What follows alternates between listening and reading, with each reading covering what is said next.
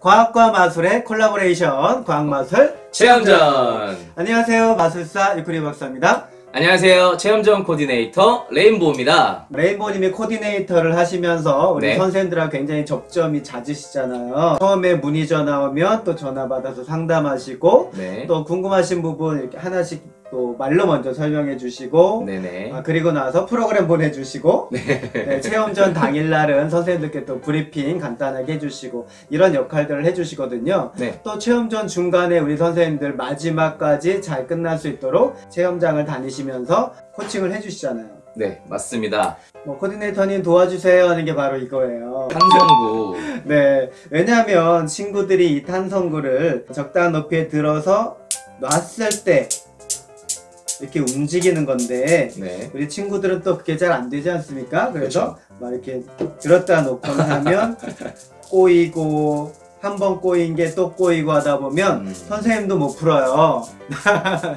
네, 그래서 우리 레인보우님이 풀어주시곤 하는데요. 그러기 위해서 미리 이렇게 안내판을 드리거든요. 유의할 점에 써 있죠. 네, 줄이 너무 굿을 너무 높이 들면 꼬일 수 있어요. 라는, 엉킬 수 있습니다. 라는 부분도 써 있으니까 친구들이 체험을 할 때 이렇게 해서 힘을 가하는 거거든요. 서로 떨어뜨리는 게 아니고요. 네 이런 부분들을 아, 선생님들이 잘 설명해 주시면 우리 친구들이 더 재밌게 체험할 수가 있겠습니다. 자, 지금 하나의 탄성구를 놨더니 반대쪽에 하나가 움직였어요. 그러면 두 개를 넣으면 어떻게 되나요? 자 지금 바로 해볼게요 멈춘 상태에서 두 개를 놓았습니다 아, 그랬더니 두 개가 움직입니다. 2 플러스 2 네, 자, 그럼 세 개를 넣으면 어떻게 될까요? 공은 다섯 개거든요. 네, 멈추고 세 개를 놓으면 보시죠 자, 세 개씩 어, 가운데 친구는 왔다 갔다 계속하네요. 네 제일 바빠요 네.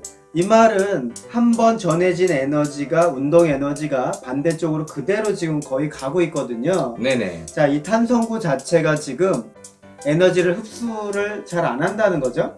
네 맞습니다 충돌 에너지가 한번 생기면 그 힘이 끝까지 밀고 가는 힘이 생기기 때문에 네. 이런 현상이 나타나는 겁니다 네. 물론 점점 어, 줄어들죠. 왜냐면 공기라는 또 저항이 있으니까 네. 그런 공기의 저항을 받아서 점점 멈추긴 하지만 기본적으로 이 탄성구는 네, 에너지를 흡수하지 않고 그대로 반대쪽에 전달한다. 이게 바로 이 탄성구의 포인트가 되겠습니다. 자, 체험을 할 때 우리 선생님들은 어떤 역할을 하시나요? 네, 일단 기본적으로 설명을 해주시는데요. 설명을 해주실 때 우리 과학의 원리도 설명을 해주시지만 안전사항에 대해서 설명을 해주셔야 우리 모든 친구들이 즐겁고 신나는 과학마술 체험전이 될 수 있습니다. 네, 친구들에게 설명하고 난 후에는 어떻게 하시나요? 곳곳에 필요한 곳에 가셔서 우리 아이들이 혹시라도 못하고 있는 부분이 있으면 설명을 한 번 더 우리 아이들이 이해할 수 네, 있도록 도와주시면 되는 거죠. 네네네. 네, 우리 친구가 어, 잘 못하고 있거나 또 그런 상황이 생기면 우리 선생님은 부부들 위치를 바로 이동할 수 있도록 동선을 짜 드리니까요. 선생님들은 어, 도와주세요 선생님 하는 친구에 가서 친절하게 한 번 더 알려주시는 역할 그러면서도 어, 친구들이 안전하게 잘 하고 있는지도 봐주시면 되겠고요.